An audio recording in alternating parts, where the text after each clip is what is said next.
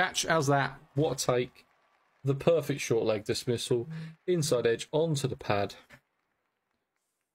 And we pick up our first of this innings.